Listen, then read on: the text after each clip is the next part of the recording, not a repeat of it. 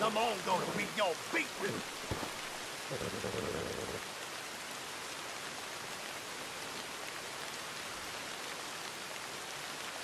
Oh boy! I'm too glad you back.